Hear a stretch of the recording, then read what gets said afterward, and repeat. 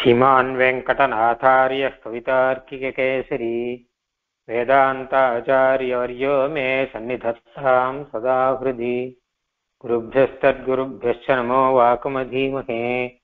गृणीमहे च तत्र अद्यो दम्पती जगताम् पति वंदे बृन्दावनचरम् वल्लवीजनवल्लभम्। जयन्ती सम्भवम् धाम वैजयन्ती विभूषणम्।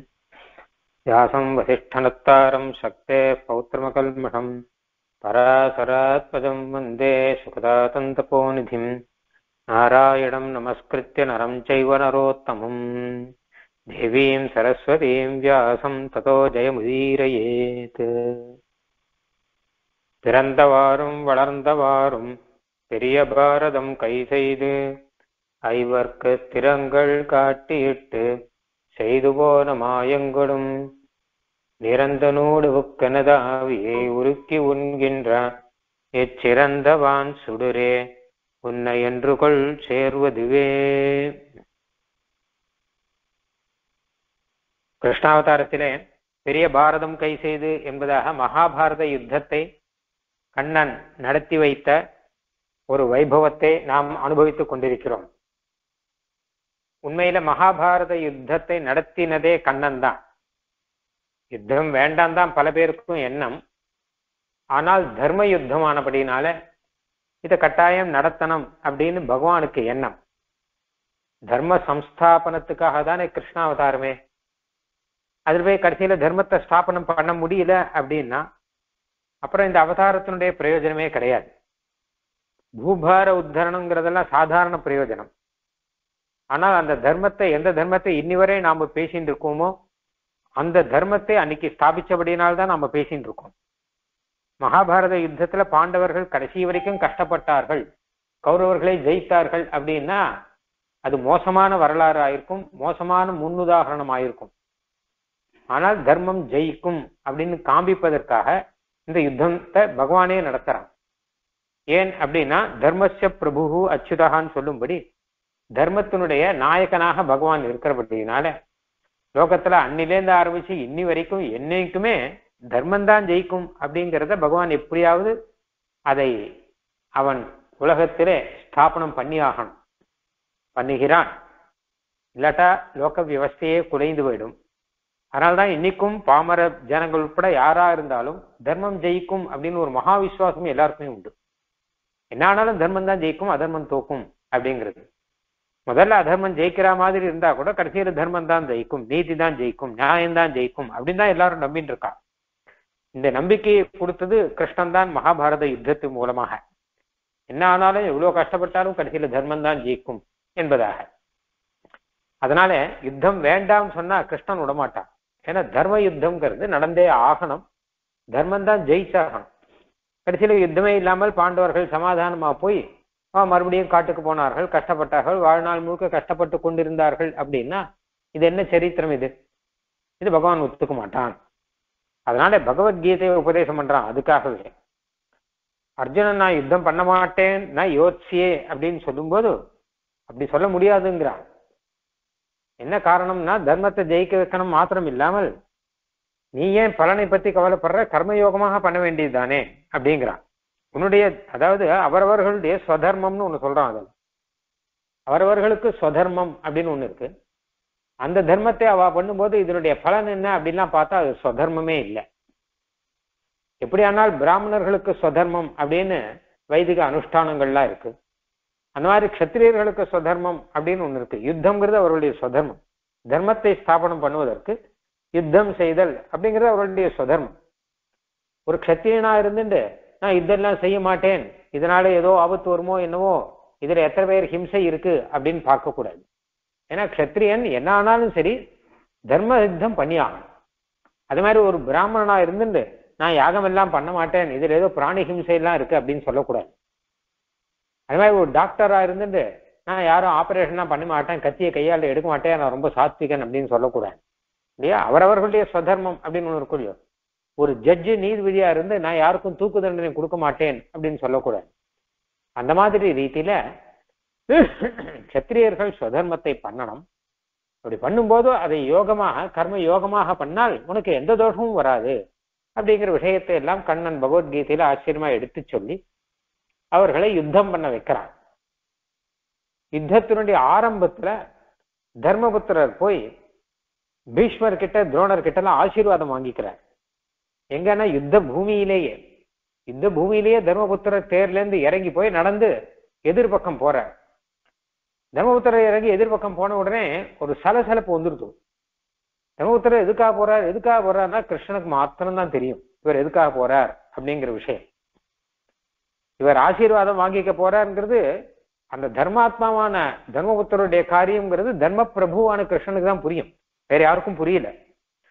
பாண்டவர்கள்லாம் என்ன நினைச்சா இவெல்லாம் சமாதானம் பேச போயிட்டாரா இவர்? அண்ணா இப்படி போயிருக்காரு சமாதானம் பேச போறவரோ ஒரு வேற அப்படின்னு நினைக்கிறார். கௌரவர்கள்லாம் பயந்து போய் வந்துட்டான் பார் பயந்தாங்கொல்லின்னு நினைக்கிறார். ஆனா நேர போய் பிதாமகர் பீஷ்மர் கிட்ட ஆசீர்வாதம் வாங்கிக்கிறார். என்ன வேணும்னு கேட்டார் பீஷ்மர். நான் இந்த மாதிரியாக யுத்தம் பண்ண போறேன் தாத்தா. அதனால என்ன ஆசீர்வாதம் பண்ணுங்கோ அப்படின்னா ஜெய் விஜயி பவா அப்படின்னு விட்டார் பீஷ்மர். இதுதானே ஆசீர்வாதம். அடுத்து துரோணாச்சாரியர்கிட்ட போய் ஆச்சாரியரே இந்த மாதிரி நாங்கள்லாம் யுத்தம் பண்ண போறோம். யுத்தம் ஆரம்பிச்சு ஒரு மகா யுத்தம் ஒண்ணு பண்ண போறோம். ஆசீர்வாதம் பண்ணுங்கோ அப்படின்னா ஜெய் விஜயி பவா அப்படிங்கிறார் அவரும். இவர்கள் எப்படி ஆசீர்வாதம் பண்றார்கள்? இந்த வேடிக்கையெல்லாம் மகாபாரத்லாம் நம்ம பார்க்க முடியும். ஏன்னா யாரை எதிர்த்து யுத்தம் பண்றாலோ அவளே ஜெய் விஜயி பவா அப்படின்னு சொல்றா இது ஏன் அப்படின்னா இது வெறும் கதையா இருந்ததுன்னு வச்சுக்கோங்க. அப்போ வந்து நமக்கு இது புரியாம இருக்கும்.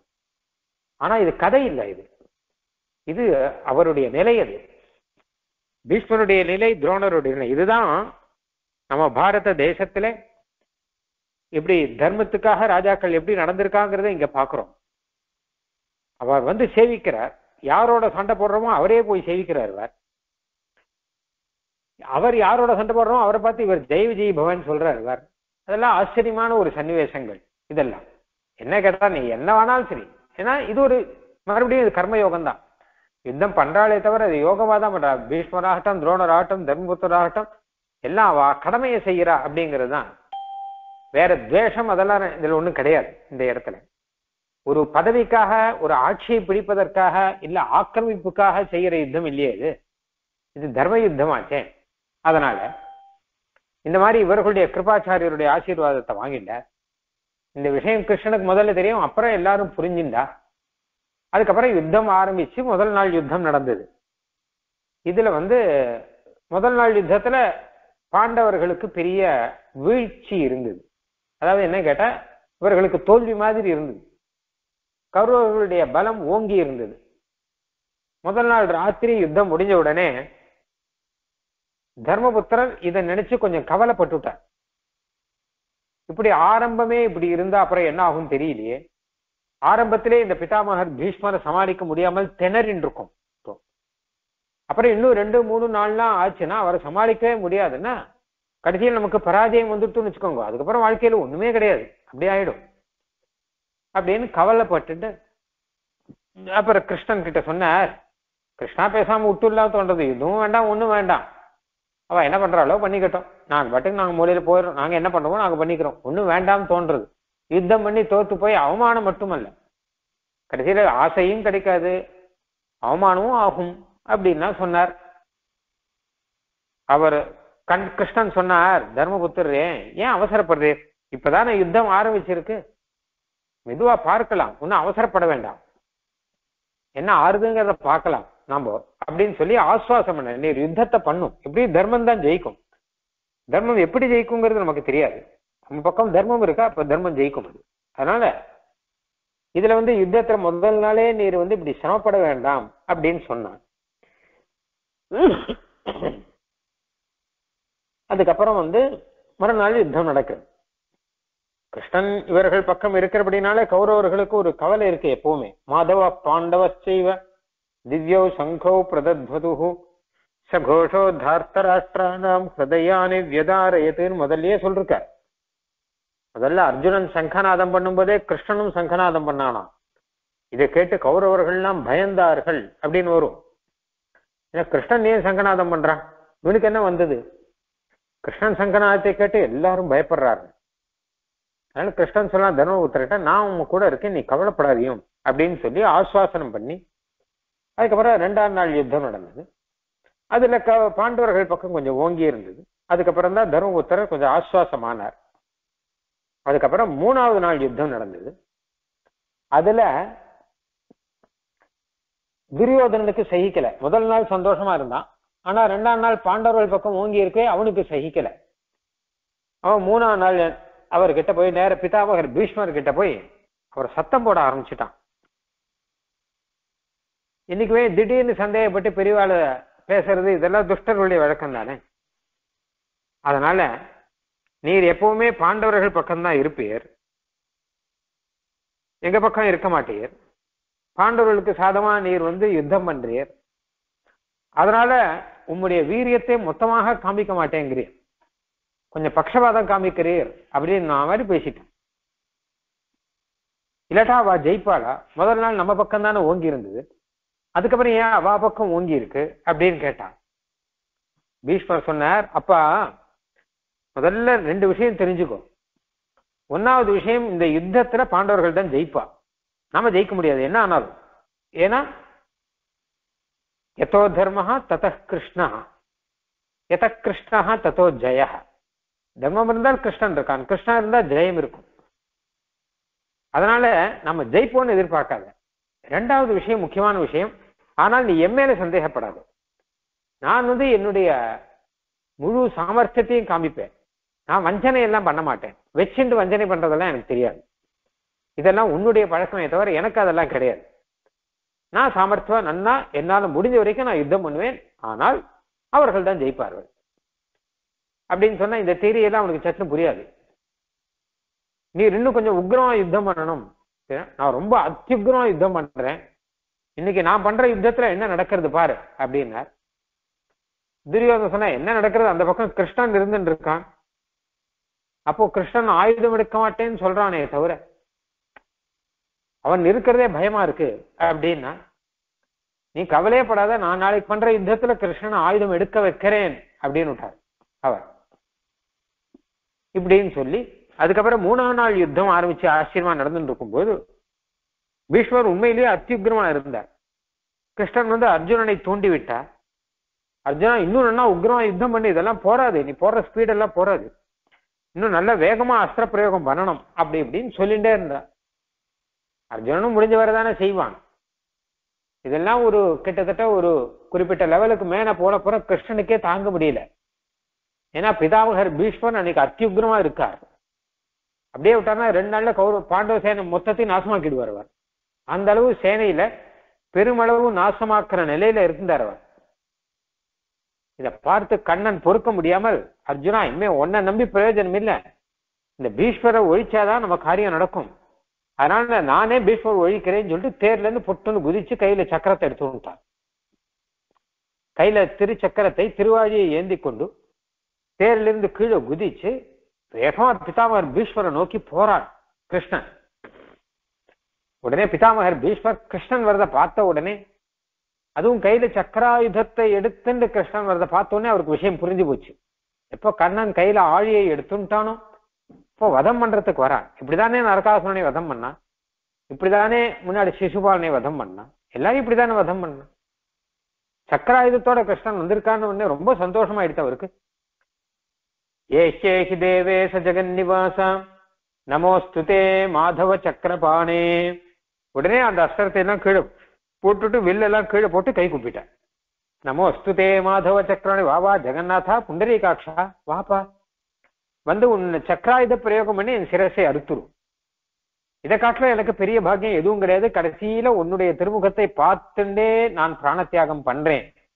அப்படின்னு ரொம்ப சந்தோஷமாக அவர் கை கூப்பிட்டு நிக்கிறார் ஆனா இதை பார்த்த உடனே அர்ஜுனனுக்கு பொறுக்கல. அர்ஜுன் கிடுக்குன்னு பின்னாடியே ஓடி போய் கிருஷ்ணா கிருஷ்ணா எங்க போறேன் எங்க போறேன் நில்லு முதல்ல. நான் இனிமே நன்னா யுத்தம் பண்றேன். உன்னை நம்பி பிரயோஜனம் இல்லை. அதெல்லாம் இல்லை. நான் இனிமே நன்னா யுத்தம் பண்றேன். தயவு செஞ்சு தேருக்கு வா அப்படின்னு சொல்லி கிருஷ்ணனை சமாதானம் பண்ணி தேருக்கு கூட்டின்னு போனான் அர்ஜுனன். அப்படின்னு ஒரு ஆச்சரியமான சம்பவம் ஒண்ணு நடந்தது அந்த இடத்துல. இது மகாபாரதத்துல பார்த்தா சாதாரண சம்பவமா இருக்கு இங்க.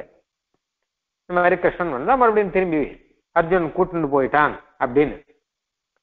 ஆனால் இந்த பீஷ்மர் அப்புறம் கடைசியில நினைக்கிறார்.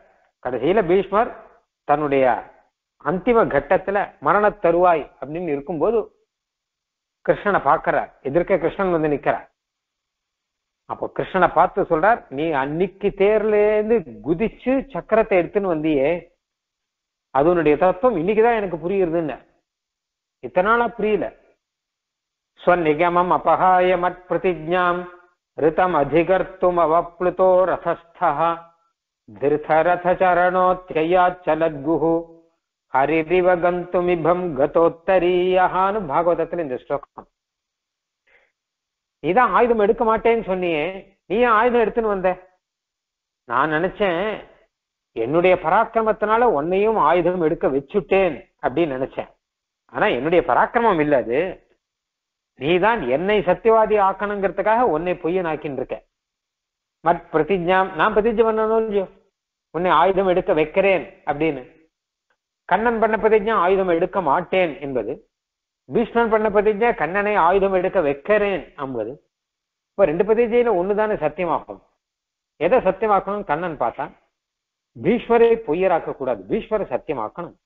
நாம பொய்யானா பரவாயில்லை. நாம சொன்னது பொய்யா போனா பரவாயில்லை.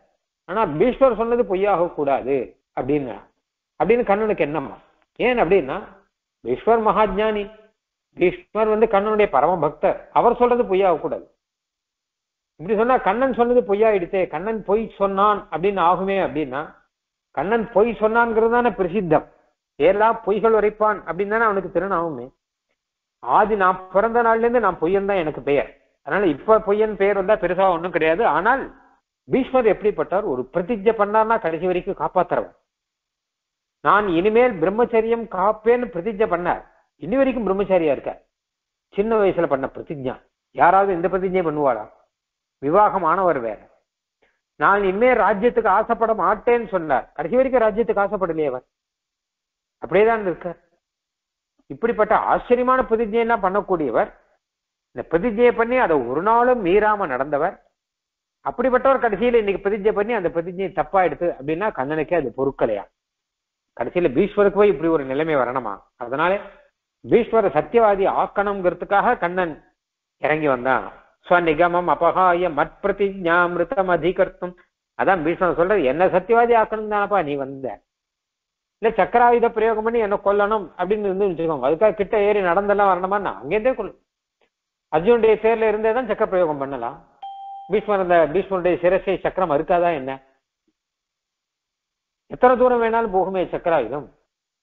அந்த சக்கரம் அப்படிங்கிறது துர்வாசரை துரத்தின்றி எல்லா லோகத்துக்கும் போச்சுன்னு வரும். பெருமாள் ராமன் ஏவின ஒரு ஒரு புல்லு கூட எல்லா லோகத்துக்கும் துரத்தின்னு ஓடுறது. இப்ப சக்கராயுதம் போகாதா என்ன? ஆனா கொல்ற மாதிரி வர்றாரே தவிர பீஷ்மர கொல்ல போறது இல்ல.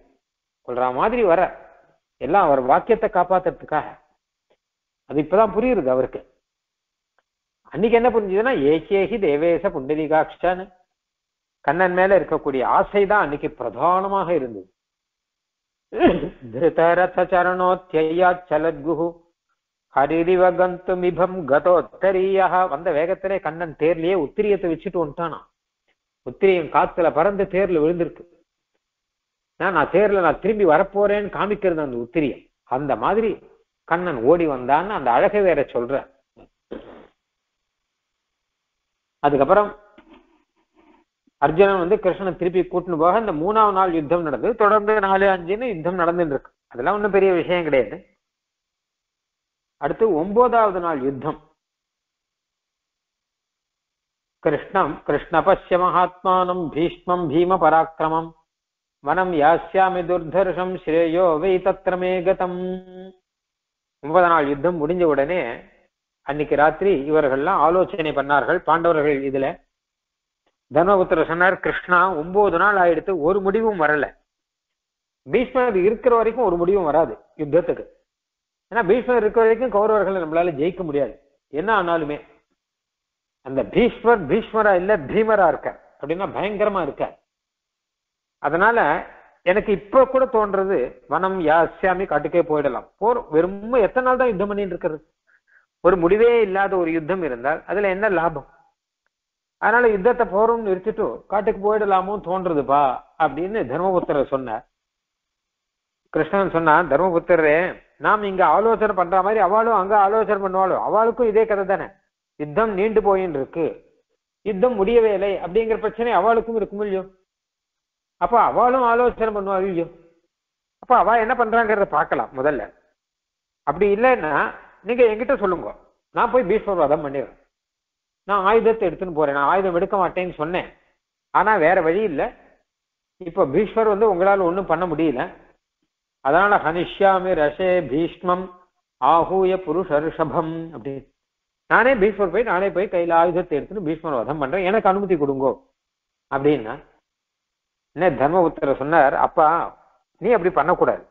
நீ சொன்னது பொ- நீ ஒரு பிரதிஜை பண்ணிட்டு வந்திருக்க யுத்தத்துக்கு. நான் ஆயுதம் எடுக்க மாட்டேன்னு சொல்லிட்டு. அப்புறம் திருப்பி திருப்பி ஆயுதம் நீ எடுக்கக்கூடாது. உன்னை அப்படி பொய்யனாக ஆக்க நாங்க விட மாட்டோம் நீ என் பக்கம் இருக்கணுமே தவிர இந்த மாதிரி பொய்யனாக நீ ஆக வேண்டாம். அது இல்லாமல் வேற ஏதாவது உபாயம் இருந்தா சொல்லு. அது செய்யலாம். இல்லாட்டா எனக்கு ஒண்ணு தோன்றது. நாம எல்லாரும் பீஷ்மர்கிட்ட போய் கேட்போம் அப்படின்னு நான் மொத்த பேருமா? எல்லாரும் பீஷ்மர்கிட்ட போவோம். அவரே போய் இந்த யுத்தத்துக்கு முடிவுக்கு என்ன வழின்னு அவர்கிட்டே தான் கேட்போம். கிருஷ்ணன் ரொம்ப உத்தமமான யோஜனை. இது இப்ப எல்லாருமா போவோம் அப்படின்னு சொல்லிட்டு தர்மபுத்திரர் பாண்டவர்கள் கிருஷ்ணனோட கூட எல்லாருமா அன்னைக்கு ராத்திரி பீஷ்மனுடைய கூடாரம் பீஷ்மர் தங்கி டென்ட் போட்டு தங்கிட்டு இருக்கா இல்லையா? அந்த இடத்துக்கு போனான். அங்க பீஷ்மருக்கு புண்ணு ஆறுவதற்காக அதற்கான சிகிச்சைகள் எல்லாம் நடந்துட்டு இருக்கும் அங்க பொதுவாக.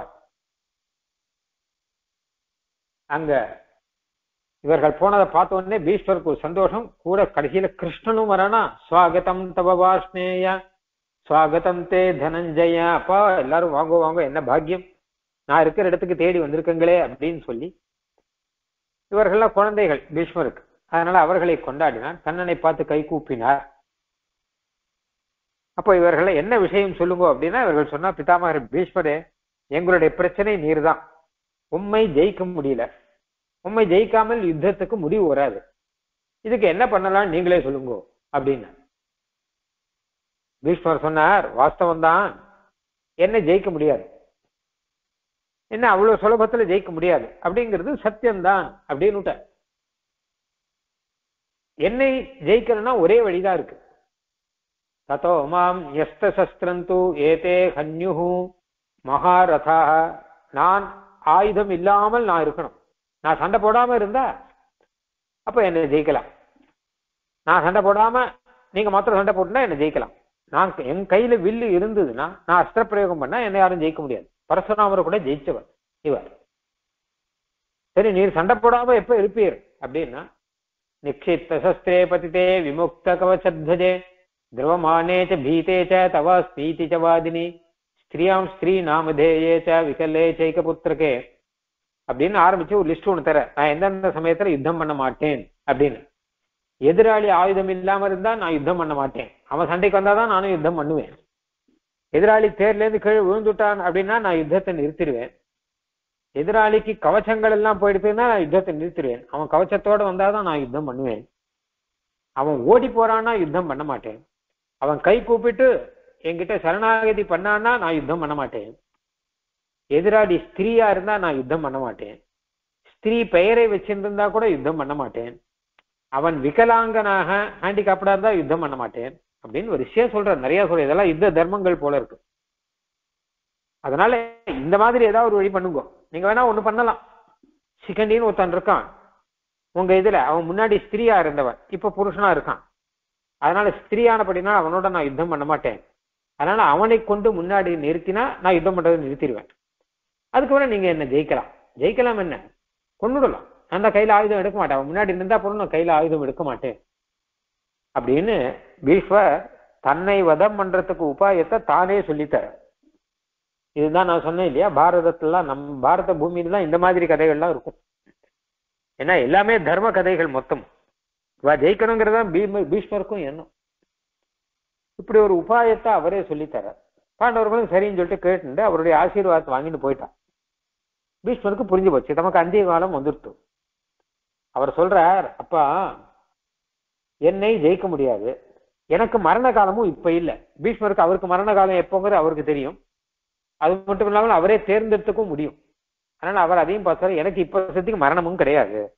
என் ஜாதகத்துல அது கிடையாது. அப்ப என்னை ஜெயிக்கவும் முடியாது. அதனால ஒரே வழிதான். நான் ஆயுதத்தை நிறுத்தம் அதுக்கு சிகண்டியை முன்னாடி வச்சுக்கோங்க. சிகண்டி ஸ்திரீயா புருஷனான்னு சொல்ல முடியாத ஒரு பிறவி அவன். அதனால அவனை முன்னாடி நிறுத்துக்கோங்க நான் சண்டை போடுறதே நிறுத்திடுவேன். அப்புறம் நீங்க என்ன வேணா பண்ணுங்கோ அப்படின்னு விட்டார்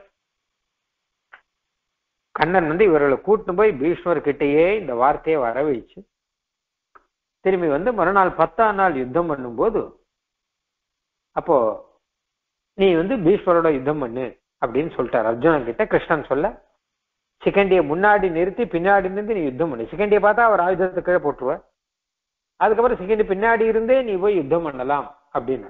இதென்ன முன்னாடி இருந்து பின்னாடி இருந்து மறைஞ்சு இருந்து இதெல்லாம் கிருஷ்ணனே சொல்லித்தார். என்ன கிருஷ்ணா இப்படி எல்லாம் போய் பீஷ்மரை போய் இப்படி போய் கொல்ல சொல்றியே ஆத்ததாயினமாயாந்தம் ஹன்யாத்து காத்தகம் ஆத்மனஹா. தப்பே கிடையாது வா. கிருஷ்ணன் சொன்னார். நம்ம பட்சம் ஜெயிக்கிறேன்னா அவர் போனாதான் ஜெயிக்கும். இல்லட்டா ஜெயிக்காது. அதனால ஆத்ததாயி வதம்னு வச்சுக்கோ. ஆத்தத்தாய் வதன்னா நமக்கு பெரிய அளவுல நம்ம நம்மளை கொல்லுவதற்கு ஒருத்தர் வராம வச்சுக்கோங்க. அவனுக்கு ஒன்றா தப்பு கிடையாது. நம்ம ஆத்துல சர்வ சொத்தையும் அபகரிச்சுன்னு போறதுக்கு ஒருத்தர் வந்தா வச்சுக்கோங்க. அவனுக்கு ஒன்றா தப்பு கிடையாது. நம் ஆஹ் அது மாதிரி ஸ்திரீகளை மானபங்கம் பண்றதுக்கு ஒருத்தர் வந்தா வச்சுக்கோங்க. அவனுக்கு ஒன்றா தப்பு கிடையாது. சில பேர்களை வதம் பண்ணா தப்பு கிடையாதுன்னு சாஸ்திரமே சொல்லியிருக்கு. பீஷ்மர் தாயி மாதிரி மொத்த சைன்யத்தையும் நாசம் பண்றாருங்க. இல்லையா? அதனால அவரை எப்படியான அவரை வதம் பண்றது தப்பே கிடையாது. அப்படி நமக்கே பிராண ஆபத்து வரும்போது நம்ம பிராணனை காப்பாத்துக்காக அவன் வதம் பண்ணோம்னு வச்சுக்கோங்க. அப்ப அது தப்பு கிடையாது. இன்னைக்கும் கோர்ட்ல போனோம்னா அந்த கேஸ் ஜெயிக்கும். ஜெயிக்கும்னா என்ன கேட்டா இவன் பண்ணது தப்பு கிடையாதுன்னு தீர்ப்பு வரும். ஏன்னா உயிரை காப்பாற்றிக் கொள்ள இப்படி செய்தபடியாலே அப்படின்னு. சாஸ்வதோயம் ஸ்திதோ தர்ம க்ஷத்ரியானாம் தனஞ்சய யோத்தவியம் ரட்சிதவியஞ்ச நான் தர்மத்தை தான் சொல்லிட்டு இருக்கேன் அர்ஜுனா. அதர்மத்தை சொல்லல. அதனால் நீ தாராளமாக பீஷ்மனை வதம் பண்ணலாம் அப்படின்னு சொன்ன உடனே அர்ஜுனனும் சிகண்டி பின்னாடி இருந்து அஸ்திரப்பிரயோகம் பண்ணா சிகண்டியும் அஸ்திரப்பிரயோகம் பண்ணா பீஷ்மர் பார்த்தார் இதெல்லாம் அர்ஜுனுடைய அஸ்திரங்கள் தான் எனக்கு சிகண்டி அஸ்திரங்கள் இனிமேல் வராமல் இருக்கட்டும். அர்ஜுனன் அஸ்திரங்கள் இனிமேல் வரட்டும்னு ஒண்ணு ஒன்னா தாங்கிட்டு இருக்க. ஆயுதத்தை எடுக்கலையே அவர். வில்ல கீழே வச்சுட்ட. மேல மேல அர்ஜுனுடைய அஸ்திரம் மேல மேல அதிவேகமா வருது. அர்ஜுன் பத்தி சவ்யசாட்சி ஆச்சவன் இடது கையாலையும் வலது காலையும் மாறி மாறி அஸ்திரத்தை போடக்கூடியவர். இந்த மாதிரி பீஷ்மர் மேல அதிவேகமா அஸ்திரத்தை அர்ஜுனன் மேல மேல அடுத்தடுத்து அடுத்த ஒன்னு ரெண்டு மூணு நாலு நூறு இருநூறு முந்நூறுன்னு போட்டுட்டு இருக்கான். மொத்த கௌரவ சேனையில மொத்த பேரும் எல்லாரும் ஆயுதத்தை போட்டு ஐயோ என்ன பீஷ்மர் இப்படி நிராயுதமா நிக்கச்சே அர்ஜுனா அர்த்த பிரயோகம் பண்றானே அப்படின்னு பார்த்துதான் அடுத்த அர்த்த பிரயோகம் பண்ணா தேர்ல இருந்து கீழே விழுந்துட்டார் அவன். அர்ஜு அஸ்தத்தினுடைய வேகத்துல பொட்டுன்னு கீழே கீழே விழுந்து தரையில விழுந்துட்டார் ஆனால் அவர் உடம்புல இருந்த அஸ்திரங்கள் மொத்தமும் அவரை தாங்கின்னு இருக்கு பூமியில தரையில வேலை அஸ்திர அஸ்திரம் அப்படி உடம்பு முழுக்க அஸ்திரம் இருக்கிறபடினால அந்த அஸ்திரத்து மேல அவர் படுத்துன்னு இருக்கா மாதிரி அஸ்திரப்படுக்கையில இருக்க மாதிரி ஆயிடுச்சு. சரதல்பம் அப்படின்னு சொல்றார் சரதல்பம் கதே பீஷ்மே சரதல்பத்தில் படுத்துட்டு இருக்கார் அந்த மாதிரி ஆயிடுச்சு. உடனே ஹாஹாக்காரத்தோடு கூட எல்லாரும் யுத்தத்தை விட்டுட்டு அந்த பக்கம் வரா. பீஷ்மர் கீழே விழுந்தார் அப்படின்னு கேள்விப்பட்டு மொத்த பேருமா ஓடி வரா. அப்போ பீஷ்வர் சொன்னார் தனஞ்சய மகாபாஹோ சிரோமே தாத்தலம்பதே அப்படின்னு. தனஞ்சயா அர்ஜுனா தலை கீழே தொங்கிட்டு இருக்குப்பா அப்படின்னார். உடம்பெல்லாம் அஸ்திரம் தாங்கிட்டு இருக்கு தலை மாத்திரம் தொங்கிட்டு இருக்கு கீழே. அப்படி மனுஷன் இருக்க முடியுமா? தலை தொங்கின்னு இருக்குப்பா இதுக்கு ஏதாவது வழி பண்ணு அப்படின்னா. ஆஜ்ஞாபய குரு சிரேஷ்டா அர்ஜுன் கை கூப்பினான் ஆச்சாரியரே பிதாமகரே. ஆஜ்ஞாபனம் பண்ணவன் என்ன பண்ணணும்னு சொல்லும். நான் அதை பண்றேன். அப்படின்னா உபதானம் குரு சிரேஷ்ட உடனே உபதானம் பண்ணுப்பா எனக்கு ஒரு தலாணி வேணும் போ. அப்படின்னா உடனே தலாணி கொண்டு வரேன் நான் துரியோதனன். அதெல்லாம் வேண்டாம். அர்ஜுனன் உடனே கீழே மூணு அஸ்திரத்தை போட்டான். அந்த அஸ்திரத்துல பீஷ்மனுடைய தலையை வச்சுட்டான். பாத்தியா?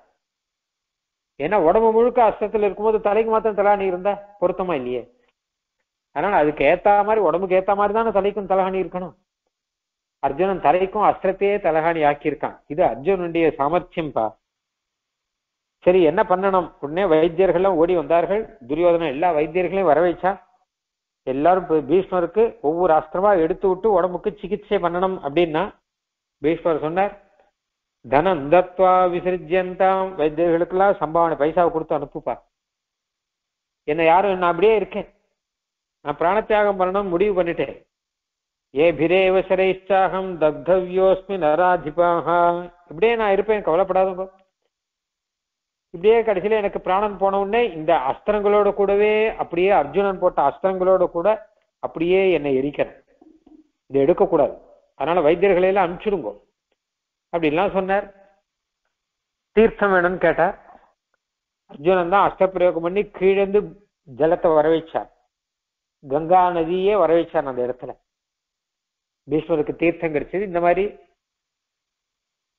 பீஷ்மர் கடைசியில சரதல்பத்தில் இருக்கும்போது பாண்டவர்கள்லாம் தலை குனிஞ்சுன்னு பக்கத்துல இருந்தார்கள். எல்லாரும் அழ ஆரம்பிச்சுட்டா.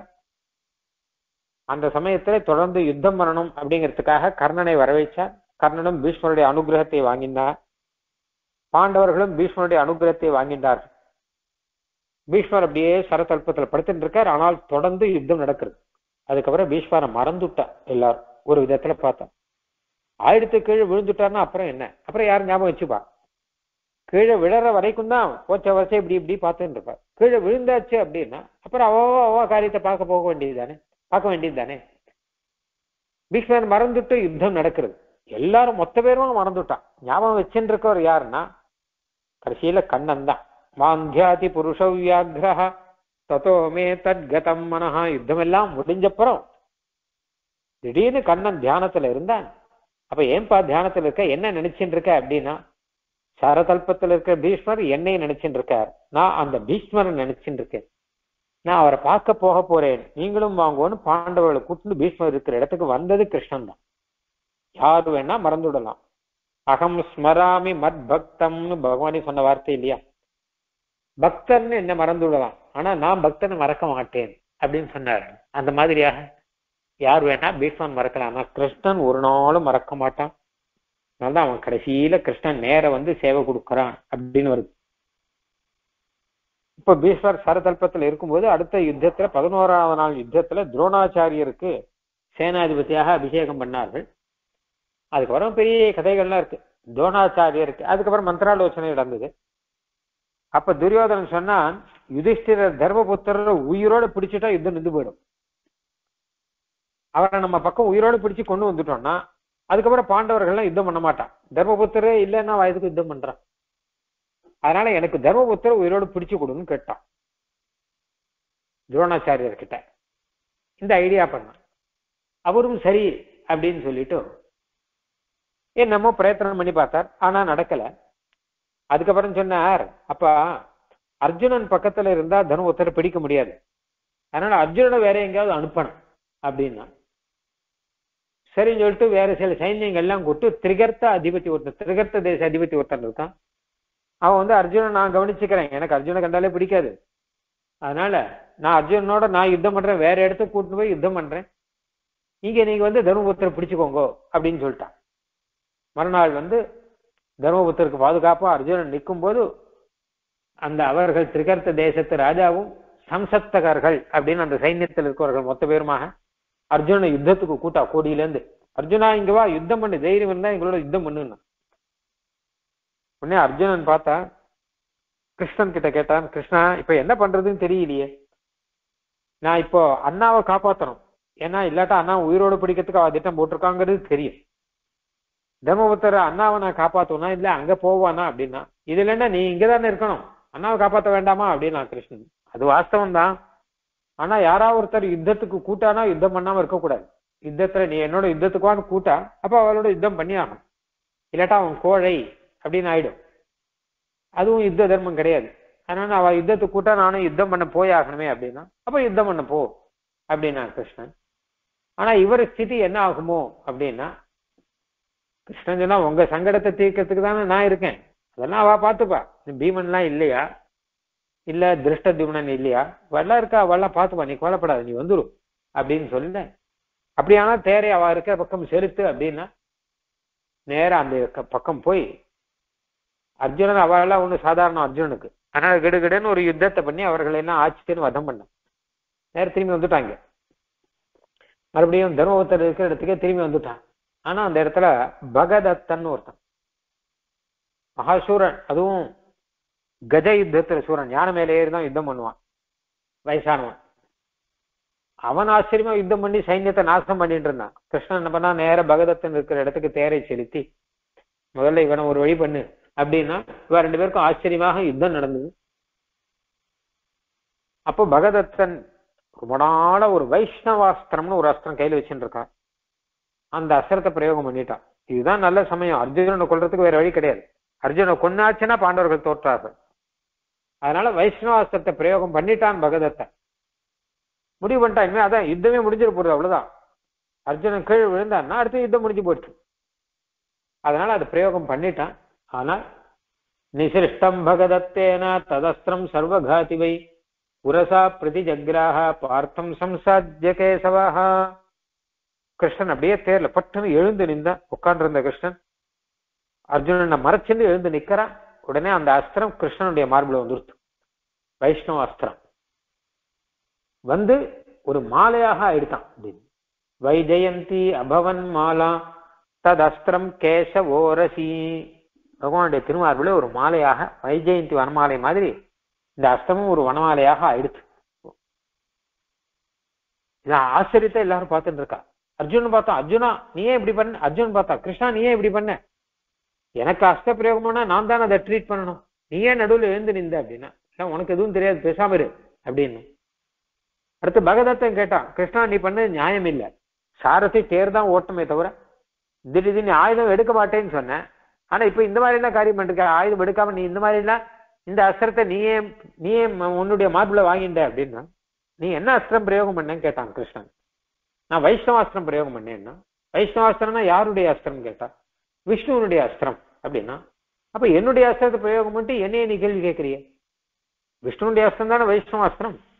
என் அஸ்திரத்தை தானே பிரயோகம் பண்ணிருக்க? அப்புறம் என்ன எது கேள்வி கேட்கிறேன் நான் என்ன பண்ணா உனக்கு என்ன? அஸ்திரம் என்னமோ என்னுடைய அஸ்திரம் தானே? அப்படின்னு நான் கிருஷ்ணன். அப்புறம் பகதத்தனும் மண்டையை பிடிச்சுன்னா அதுக்கப்புறம் வந்து அர்ஜுனன்ட்டு சொல்லி அர்ஜுனா வந்து நீ இந்த மாதிரி போயிடுற அதுவும் அர்ஜுன்ட்ட சமாதானம் சொன்னான். அந்த பகதத்தன் வரம் வாங்கி வச்சிருக்கான். வரம் வாங்கி தான் இந்த வைஷ்ணவாஸ்திரம் வாங்கி வச்சிருக்கான். உன்னுடைய பழைய கதை ஒன்று இருக்கு. அதையும் சொல்லி வரம் வாங்கி வச்சிருக்காப்பா இந்த வைஷ்ணவாஸ்திரம் என் கையில இருக்க வரைக்கும் யாரும் உன்னை ஜெயிக்க முடியாது. அதனால்தான் இப்படி ஒரு உபாயத்தை நானே பண்ணேன் அப்படின்னு சொல்லி சமாதானப்படுத்தினான். அந்த பகதத்தன் அர்ஜுனன் அன்னைக்கு வதம் பண்ணான் இருக்கு. அதுக்கப்புறம் அடுத்த நாள்ல இந்த மகாபாரத யுத்தத்துல கோரமான ஒரு விஷயம் அபிமன்யு வதம் அப்படிங்கிறது. அபிமன்யுங்கிற சின்ன பையன் அந்த சின்ன பையனை போட்டு ஆறு மகாரதர்கள் சூழ்ந்து கொண்டு கர்ணன் துரோணர் கிருப்பர் அதெல்லாம் மகாரதர்கள் சூழ்ந்து கொண்டு இவன் கையில ஆயுதம் இல்லாம இருக்கச்சே இவனை போட்டு கொண்டுட்டான் இது ஒரு பெரிய அதர்ம காரியம் ஒண்ணு நடந்தது. அபிமன்யு வதத்தினாலே பாண்டவ சேனை ரொம்ப கலங்கி போயிருக்கு. அன்னைக்கு சாயங்காலம் தர்மபுத்திரர் ரொம்ப அழுதுண்டே இருந்தார். வாய் விட்டு அழறார் ஓலமிட்டு அழறார். தத்தோ யுதிஷ்டிரோ ராஜா விலலாப சுதுக்கிதா எவ்வளவு சின்ன பையன் எத்தனை மகாசூரன் அர்ஜுனனுடைய புத்திரன். தர்மபுத்திரே ஓன்னு அழுதானா? எதுக்குமே அழுத மாட்டார். கலங்காத நெஞ்சம் அது. என்ன ஆனாலும் சரி கலங்க மாட்டார். அப்படின்னு தானே பார்த்திருக்கோம் முன்னாடி. எப்படி சூதாடும் போதும் சரி ராஜ்யம் போகும் போதும் சரி திரௌபதிக்கு கஷ்டம் வந்த போதும் சரி வனவாசத்துல எத்தனை கஷ்டம் வந்த போதும் சரி எப்பவும் அமைதியா இருக்கக்கூடியவர். ஓன்னு அழுதார். இவர் அழுததை பார்த்து யாருக்குமே பொறுக்காது. வியாசருக்கே பொறுக்கலையாம் வியாசரே நேரம் வந்துட்டாருங்க இவர் ஆசு தர்மபுத்திர ஆஸ்வாசனம் பண்ணணுங்கிறதுக்காக வியாசர் நேரம் வந்தார். அதுக்கப்புறம் அர்ஜுனன் அந்த இடத்துக்கு வந்தபோது யாருமே அவனை வரவேற்கல. ஏன் யாரும் வரவேற்கல? யுத்தத்தை பத்தி எல்லாரும் பேசிட்டு வரவேற்பார்கள். குறிப்பா அர்ஜுனுடைய புத்திரன் வரவேற்பான் அபிமன்யு. ஆனா யாருமே வரவேற்கலையே. எல்லார் முகத்திலையும் சோகமா இருக்கே. யாரும் பேச மாட்டேங்கிறாளேன்னு யோசிச்சு பார்த்தோன்னு ஒரு விஷயத்தை புரிஞ்சுட்டான். அதுக்கப்புறம் அவர்கள் சொன்ன உடனே அவனுக்கும் சோகம் அதிகமாச்சு. உடனே அவன் என்ன பண்ணான் கேட்டா ரொம்ப அதிக சோகத்துல இந்த அபிமன்ய வதத்துக்கு மூல காரணம் யார் அப்படின்னு கேட்டான். ஜெயத்ரதன் அப்படின்னா. அப்படியானால் நாளைக்குள்ள ஜெயத்ரதன் வதம் பண்றேன் இது சத்தியம் அப்படின்னுட்டான் ஒரு பிரதிஜை ஒண்ணு பண்ணிட்டான். அர்ஜுனேன பிரதிஜாத்தே பாஞ்சஜன்யம் ஜனார்தனஹா. அர்ஜுனன் அப்படி பிரதிஜை பண்ண உடனே பாஞ்சஜன்யத்தை எடுத்து பகவான் சங்கு ஊதிட்டான் ஜெயத்ரதன் ஒரு பக்கம் பார்த்தா இவாளுக்கு ஜெயத்தை காண்பிப்பதற்காக அது அந்த ஜெயத்ரசனுக்கு பராஜயத்தை காண்பிப்பதற்காக. கிருஷ்ணனுக்கு சந்தோஷம் கொடுத்து நான் இப்பதான் யுத்தத்துக்கு ஒரு முடிவு வரணும் இல்லையோ? இவாட்டு போயிட்டே இருந்தா என்ன அர்த்தம்? அதனால அர்ஜுனன் பிரதிஜை பண்ணிட்டானா நல்லது அப்படின்னா பிரதத்னோ தத்திர சங்கிருத்தா தேவதத்தஞ்ச பால்குணஹா அதுக்கப்புறம் இவர்கள்லாம் அடுத்த நாள் யுத்தத்துல ஜெயதிரசன் வதம் பண்ணணும் இந்த பேச்சு வந்து இது கௌரவர்களுக்கும் தெரிஞ்சுது. அன்னைக்கு ராத்திரி யாருமே தூங்கலையா? பாண்டவர்கள் பட்சமும் தூங்கல கௌரவர்கள் பட்சமும் தூங்கல. கௌரவர்கள் ஜெயத்ரசனை எப்படியாவது அர்ஜுன் கிட்ட இருந்து காப்பாத்திக்கணும் அதுக்கு என்ன வியூகம் வைக்கலாம் அப்படின்னு ஆலோசனை பண்ணிட்டு இருக்கான் பாண்டவர்கள் பக்கம் நாளைக்கு எப்படியாவது ஜெயத்ரசனை வதம் பண்ணி ஆகணும். ஏன்னா பிரதிஜை பண்ணிட்டான். பிரதிஜை பண்ணிட்டு வதம் பண்ணலாம் வச்சுக்கோங்க. அப்ப பிராணத்தியாகம் பண்ணுவான் அர்ஜுனன். பிரதிஜைன்னு சாதாரண பிரதிஜை கிடையாது. இதுல. நாளைக்கு சூரியாஸ்தமனத்துக்குள்ளன்னு சொல்லிருக்கான். இந்த பிரதிஜை பண்ணா அது பண்ணதுதான். இல்லாட்டா பிராணத்தியாகம் பண்ணிடுவா இவர்கள்லாம். அப்படியானா கௌரவர்கள் ஜெயதர்சன் விட்டு கொடுக்க மாட்டா. ரட்சிப்பார்கள். அதையும் மீறி அர்ஜுன் வந்து ஜெயதர்சன் ஜெயிக்காரு. ஏற்கனவே ஒரு பக்கம் பார்த்தா அபிமன்யுவை பிரிஞ்ச துக்கம் இருக்கு. இன்னொரு பக்கம் பார்த்தா அர்ஜுனன் பிரதிஜையை நிறைவேற்றணுமேனு பயம் இருக்கு. ரெண்டும் இருக்கும்போது எப்படி தூக்கம் வரும்? துக்கம் இருந்தாலும் தூக்கம் வராது. பயம் இருந்தாலும் தூக்கம் வராது. யுதிஷ்டருக்கும் தூக்கம் வரல. யாருக்குமே தூக்கம் வரல. அப்படி வச்ச கிருஷ்ணன் என்ன பண்ணா ஒரு ஆச்சரியமான ஒரு மெத்தை எல்லாம் தயார் பண்ணி அர்ஜுனுடைய சயன கிரகத்தை நன்னா ஜோடிச்சு நன்னா தூக்கம் வரும்படியான ஏற்பாடு பண்ணான் அழகான மெத்தை இந்த மெத்தையில படுத்திருந்தா தூக்கம் அழகா வரும்னு சொல்றாள் அட்வர்டைஸ்மெண்ட்ல அந்த மாதிரியாக அழகான மெத்தை எல்லாம் போட்டு அர்ஜுனனுக்கு ஏற்பாடு பண்ணான் அர்ஜுனா நீ இதுல படுத்து தூங்கு அப்படின்னு எனக்கு எப்படிப்பா தூக்கம் வரும் அப்படின்னா அப்படிலாம் சொல்லக்கூடாது. உனக்கு நித்ரை தான் ரொம்ப முக்கியம். நீ கொஞ்சம் நித்ரை பண்ணி ஓய்வு எடுத்திருந்தா தான் நாளைக்கு யுத்தம் பண்ண முடியும். இல்லாட்டா யுத்தம் பண்ண முடியாது. நீ இதுல ஏன் நீ ஒன்றும் பண்ண வேண்டாம். உனக்கு மனசுல சோகம் இருந்தாலும் சரி நீ இதுல படுத்துக்கோ அப்படின்னு சொல்லி அர்ஜுனனை படுத்துக்க வச்சு அவனை மெதுவா தூங்க பண்ணது கிருஷ்ணன் தான் எல்லாரும் முயற்சின்னு இருக்கா? கிருஷ்ணன் கூட முயற்சின்னு இருக்கா? ரெண்டு பக்கம் சைன்யத்திரி மொத்த பேரும் முயற்சின்னு இருக்கா? அர்ஜுனன் தானே. அர்ஜுன் நினைச்சுதான் எல்லாரும் கவலைப்படுறான். அர்ஜுன் நாளைக்கு ஜெயிக்கணுமே இவா ஜெயிக்கிறா இவா நினைக்கிறா? அர்ஜுன் கிட்டே இருந்து தப்பிக்கணுமே அவா நினைக்கிறா? ஆனா அர்ஜுனன் நிம்மதியா தூங்கிட்டு இருக்கான். என்ன காரணம் கேட்டா கிருஷ்ணன் தான். தூங்க பண்ணிட்டான் அர்ஜுனன். அப்படியே கண்ணை மூடினா அர்ஜுனன் ஒரு சொப்பனம் ஒண்ணு வந்தது. அதுல கிருஷ்ணன் வந்து அர்ஜுனனை கூப்பிடுறான். அர்ஜுனா வா வா அப்படின்னு சொல்லி கூட்டுண்டு போய் இதெல்லாம் மகாபாரத்தில் அப்படியே இருக்கு. அர்ஜுன செய்யாம். அப்படியே அர்ஜுனுக்கு படுக்க போட்டதெல்லாம். அந்த சொப்பனத்துல அர்ஜுனன் அர்ஜுனனை கிருஷ்ணன் கூட்டின்னு வரான். வா போலாம். எங்க அப்படின்னா நான் சொல்ற இடத்துக்கு வா. அப்படின்னு சொல்லிட்டு கூட்டின்னு போய் நேர பரமசிவன் இருக்கிற இடத்துக்கு கைலாசத்துக்கு போய் அங்க போய் உட்காந்து வச்சுட்டான். பரமசிவன் எல்லாம் வரவேற்கிறான். வாங்க வாங்க வாங்க அப்படின்னு சொல்லிட்டு வர கூப்பிடுற சுவாகத்தம் சுவாகத்தம் நீங்களாம் நரநாராயணர்களாச்சே அப்படின்னு சொல்லி உன்னை என்ன வேணும்? அப்படின்னு சொல்ல அர்ஜுனன் இந்த விஷயத்த சொல்றான். இதெல்லாம் சொப்பனத்துல. நாளைக்கு ஜெயதர்சனை கொல்லணும். கவலையே படாத. பாசுபதாஸ்திரம் தான் உன் பக்கம் இருக்கே. மறுபடியும் உனக்கு பாசுபதாஸ்திரத்தை தரேன். அது இருக்கும்போது உனக்கு என்ன கவலை? என்னுடைய பக்தனாச்சே நீ உனக்கு தோல்விங்கிறதே இருக்காது. நீ தாராளமா யுத்தம் பண்ணு. ஜெயம் கிடைக்கும் அப்படின்னு பரமசிவன் அனுகிரகம் பண்ணார். அதுல வாங்கிட்டு அர்ஜுன் வந்துட்டான். இது சொப்னத்தில் நடந்தது. கிருஷ்ணனே சொப்னத்தில் ஐச்சுன்னு போறான். எப்பவுமே அர்ஜுன் வந்து பரமசிவனுடைய பக்தன். கிருஷ்ண பக்தன்கிறத விட பரமசிவனுடைய பக்தன். அவர்கிட்ட இருந்து பாசுபதாஸ்திரம் வாங்கிட்டு தான் தான் பெரிய ஆள் நினைச்சுட்டு இருக்கான். இந்த கதை ஒண்ணு பின்னாடி கதை பின்னாடி சொல்றேன். அப்போ வந்து அதனால கிருஷ்ணன் என்ன பண்ணார்? அவன் பரமசிவன் பக்தன் தானே அதனால பரமசிவன் அனுகிரகம் அவனுக்கு கிடைச்சா சந்தோஷப்படுவான்ங்கிறதுக்கு தான் இப்படி பண்ணி. மறுநாள் கார்த்தால அர்ஜுனன் எழுந்துக்கும் போது ஃப்ரெஷ்ஷா எழுந்துட்டான். நல்ல புத்துணர்ச்சி. என்ன கேட்டா சொப்னத்துல பரமசிவனே எனக்கு அனுகிரகம் பண்ணிட்டார். எனக்கு தான் ஜெயம் சொல்லிட்டார். நாளைக்கு. அதனால எனக்கு கவலை இல்லை. இன்னைக்கு ஒழிஞ்சான் ஜெயந்திரதன். விட்டேனா பாரு கௌரவ சேனை யாரா இருந்தாலும் நாசம் பண்ணி ஜெயந்திரத்தனை நான் ஜெயிச்சிருவேன். அப்படின்னு ஒரு பரம உற்சாகத்தோடு கூட எழுந்து வரானா? இவர்கள்லாம் ராத்திரி முழுக்க தூங்கல மத்த பேர்லாம் அர்ஜுனன் என்ன பண்ண போறானோன்னு கவலையில உட்காந்துருக்கால கன்னத்துல கை வச்சுன்னு. இந்த அர்ஜுனன் வந்த உற்சாகத்தை பார்த்து என்ன அர்ஜுனன் அப்படின்னா கவலைப்படாதவங்க ஜெயிச்சாச்சு அதுக்கெல்லாம் உபாயம் இல்ல. எப்படின்னா எப்படின்னா கேட்காதுங்க. எல்லாம் மொத்தமும் ஆயிடுச்சு என்ன நடக்கணுமோ அது நடந்துருத்து. தெய்வ அனுகிரகம் நமக்கு இருக்கு. ஒரு கவலையும் இல்லை. நாம ஜெயிச்சாச்சு. அப்படின்னு உடனே இது அந்த உற்சாகம் இவர்களுக்கும் வந்துருத்து இப்போ. அப்படியா எப்ப அர்ஜுன் ஒரு தீர்மானத்துல இருக்கானோ அது வந்து உண்மையிலேயே நல்லதா தான் இருக்கும். அப்படின்னு அவர்கள்லாம் நினைச்சேன் இந்த மாதிரியாக கிருஷ்ணன் வந்து முதல்ல என்ன பண்ணான்னு கேட்டா அர்ஜுனனுக்கு ஒரு மென்டல் ஸ்ட்ரென்த் அப்படின்னு சொல்லுவா இல்லையா? மானசீகமான ஒரு பலம். மா மனசுல துர்பலமா இருந்தா வச்சுக்கோங்க ஜெயிக்க முடியாது. என்ன ஆனாலும். அதனால மனசுல நல்ல ஒரு உற்சாகத்தை கொடுத்துட்டான்னா அதுக்கப்புறம் யாரா இருந்தாலும் ஜெயிச்சிடலாம் அதை கொடுக்கறதுக்கு தான் கிருஷ்ணன் வந்து இந்த காரியத்தை அழகா பண்ணான். நீ இந்த மாதிரி கனவெல்லாம் பரவிச்சதெல்லாம் எத்தேஜசாத பகவான் யுதி சூலபாணிஹி விஸ்மாபிதா ச கிரிஜா அஸ்திரமதான் நிஜம் மே அந்நே பிச்சாக மமுனைவ கலேவரேண பிராப்தோ மகேந்திர பவனே மகதாசனார்த்தம் இதெல்லாம் அர்ஜுன் பின்னாடி சொல்றான்னு பாகவதத்துல வரும். அர்ஜுன் சொல்ற ஸ்லோகத்துல கிருஷ்ணாவதாரம் முடியும் போது இதெல்லாம் சொல்றான். எத் தேஜசாத பகவான் யுதி சூலபாணிஹி சூலபாணி சிவபெருமானுக்கு அனுகிரகம் கிடைச்சதுன்னா அந்த அனுகிரகத்துக்கும் காரணம் கிருஷ்ணன் தான் அப்படிங்கிற. அந்த மாதிரியாக இந்திரனுடைய அனுகிரகமும் அர்ஜுனுக்கு கிடைச்சது. அதுக்கும் காரணம் கிருஷ்ணன் தான் சொல்றான் மாதிரி எல்லா அனுகிரகம் எனக்கு வந்தது கிருஷ்ணன் தான் காரணம் சொல்றாங்க அப்படி மறுநாள் ரொம்ப உற்சாகத்தோடு கூட ஆச்சரியமான ஒரு யுத்தம் அப்படின்னு ஒண்ணு நடந்தது. இதுல அர்ஜுனன் அன்னைக்கு அத்தியுக்கிரமாக யுத்தம் பண்றான். ஆனா கூட கௌரவர்கள் என்ன பண்ணா ஜெயதத்தனை கூட்டு பின்னாடி வச்சுட்டா.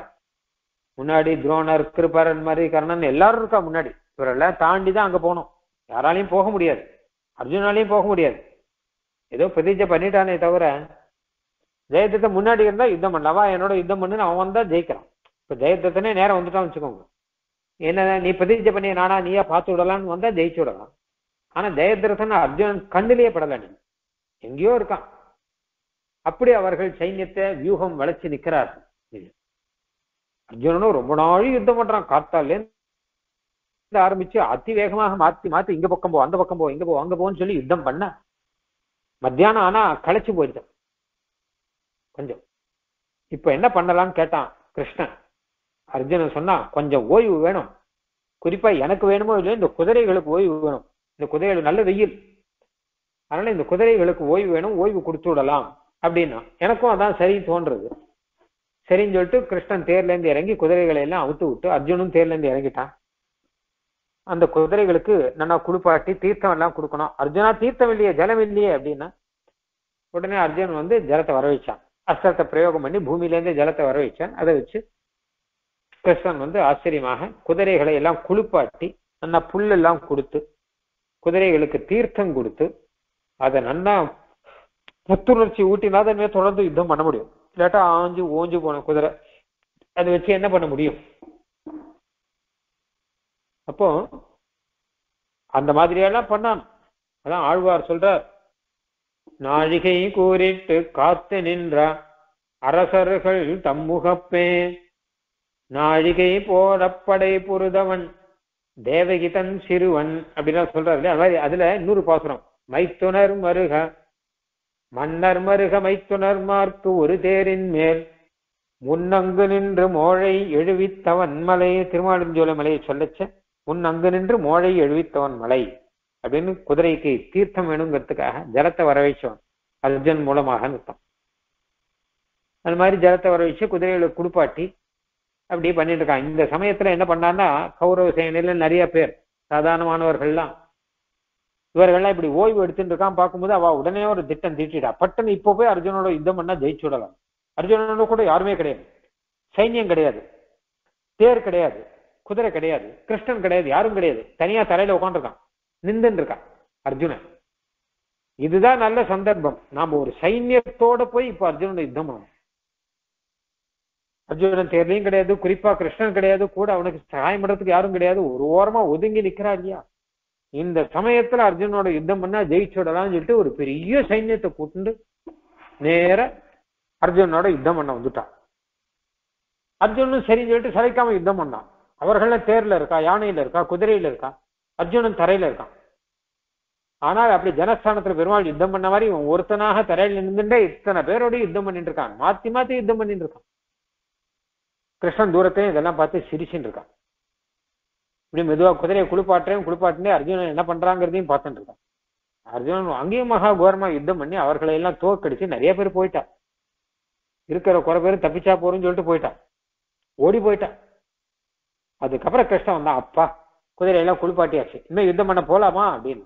இத்தனை நாள் இங்க என்ன நடந்தது தெரியுமான்னு. தெரியுமே பார்த்துட்டு இருந்தேனே. இங்க ஒரு பெரிய யுத்தம் நடந்தது அப்படின்னா. அப்போ திரும்பி போனவர்கள்லாம் இருக்காள் தோற்று போய். அவர்கள்லாம் பேசி கொண்டார்கள் என்னப்பா இப்ப கூட அர்ஜுன் ஜெயிக்காட்டா நம்ம எப்பதான் ஜெயிக்க போறோம் தெரியலையே. ஏன்னா திருதராஷ்டிரன் கூட கேட்கிற இந்த கதையெல்லாம் சஞ்சயன் தானே திருதராஷ்டிரனுக்கு சொல்றேன் அப்ப திருதராஷ்டிரன் சஞ்சயன் கிட்ட கேட்கிறாரு அப்பா அர்ஜுனன் தனியா இருக்கச்ச கூட ஜெயிக்க முடியலன்னா அவனை எப்பதான் ஜெயிக்கிறது? அப்படிங்கிற அப்போ சஞ்சயன் சொல்றார் நீர் ஒண்ணு பண்ண ஒரு விஷயம் முடிவு பண்ணிக்கணும். தெரிஞ்சுக்கணும். என்ன அர்ஜுனன் தனியா இல்ல. பக்கத்துல கிருஷ்ணன் இல்லைன்னா அதுக்காக தனியா இருக்கான்னு அர்த்தமா என்ன? கிருஷ்ணன் பக்கத்திலேயே தான் இருந்துட்டு இருக்கான் அர்ஜுனுக்கு. சகாயமா இருந்துட்டு இருக்கான். பகச்ச கொஞ்சம் தள்ளி இருக்க மாதிரி தெரியும். ஆனா பக்கத்திலேயே சகாயமா இருந்துட்டு இருக்கான். என்ன ஆச்சுன்னு கேட்டா அந்த திருப்பி போனவர்கள்லாம் பேசியிருந்தார்கள். அவரால் நீ எந்த அஸ்திரம் பிரயோகம் பண்ண? நீ எந்த அஸ்திரம் பிரயோகம் பண்ண? நீ இதுக்கெல்லாம் பதிலா ஆக்னேய அஸ்திரம் பிரயோகம் பண்ணிருக்கலாம்பா. நீ அதுக்கு பதிலா இந்த அஸ்திரம் பிரயோகம் பண்ணிருக்கலாம்பா. நான் வலது பக்கம் போகும்போது நீ இடது பக்கத்துல இருந்து பிரயோகம் பண்ண நீ என் பக்கத்தை வந்து நிக்கிறத காட்ட நீ அந்த பக்கம் போயிருக்கலாம் இல்லையோ அங்கேருந்து யுத்தம் பண்ணிருக்கலாம் இல்லையோ அப்படின்லாம் சொன்னான். இன்னும் அவளா ஒருத்த கொத்த பேசி அது என்னமோ எனக்கு தோணவே இல்லைப்பா நான் ஒருத்தன் சொன்னா நான் இந்த அஸ்திர பிரயோகம் பண்ணணும்னு நினைச்சேன் ஆனா மந்திரம் மறந்து போச்சுன்னு நான் ஒருத்தன் அந்த சமயத்துல பார்த்து எனக்கு ஞாபகமே வரல அப்படின்னு. உடனே இவர்களாம் தன்னையும் நொந்து கொண்டார்கள்.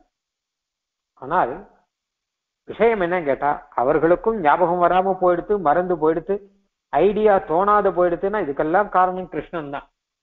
அதான் கிருஷ்ணன் தள்ளி நின்று வேடிக்கை பார்த்துட்டு இருக்கானே தவிர உண்மையிலே உனக்கு நல்ல விஷ் நல்ல சமயத்துல நல்ல புத்தி தோணி நல்ல ஐடியா வந்து வச்சுக்கோங்க. கிருஷ்ணன் அனுப்ப மாட்டுக்கான்னு அர்த்தம். இல்ல ஞாபகம் இருக்க வேண்டியதே மறந்து போயிடுதுன்னு வச்சுக்கோங்க. அப்ப கிருஷ்ணன் கை விட்டுட்டான்னு அர்த்தம். வேற என்ன? வேற நாமளே நினைச்சோம் அப்படின்னோம். நமக்கே ஐடியா தோணித்து அப்படின்னும். நம்மளுடைய ஞாபக சக்தியை நாமளே வச்சுக்கிறது அதெல்லாம் எதுவுமே கிடையாது உண்மையில. மத்த ஸ்மிருதி ஞானம் அப்போகனஞ்சான்னு பகவத்கீதையில சொல்றான். உனக்கு நினைவு இருக்கா? அதுக்கு நான் தான் காரணம். உனக்கு மறந்து போனா அதுக்கும் நான் தான் காரணம்.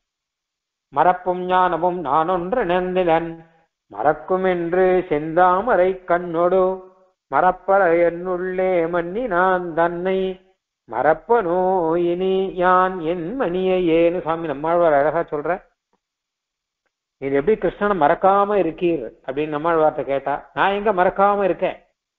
மறக்கிறதோ ஞாபகம் வச்சுக்கிறதோ அதெல்லாம் எனக்கு தெரியாது. ஆனா கிருஷ்ணன் என்ன மறக்காம இருக்கான். கிருஷ்ணன் நீ ஹிருதயத்துக்குள்ள வந்திருக்கான். மறப்பற என்னுள்ளே மன்னி நான் தன்னை ஏன்னா மறக்கும் என்று. கிருஷ்ணன் என்ன நினைக்கிறான்? இந்த நம்மாழ்வாரை வெறுமை விட்டு அவன் என்ன மறந்துடுவான் அதனால அவர் வெறுமை விடக்கூடாது. ஆனால் நான் போய் அவனுடைய ஹிருதயத்து நம்மாழ்வாரோட ஆழ்வாருடைய ஹிருதயத்துல நான் போய் இருக்கேன். அப்படின்னு கிருஷ்ணன் வந்து இருக்கான். கிருஷ்ணன் என்ன மறக்கலைங்கிறது தான். நான் கிருஷ்ணன் மறந்தேன்னா மறக்கலையாங்கிறது பிரச்சனை இல்லை. கிருஷ்ணன் என்னை மறந்தானா மறக்கலையாங்கிறது தான் பிரச்சனைன்னு விட்டார் ஆழ்வார். கிருஷ்ணன் என்ன மறக்காம இருக்கான்னா அப்ப நானும் மறக்காம இருக்கேன்னு அர்த்தம். அந்த மாதிரியாக இவர்களை கிருஷ்ணன் கைவிட்டுட்டான். அதனால என்ன ஆச்சுன்னு கேட்டா அவர்களுக்கு ஞானமே வரல. தோணவே இல்லை.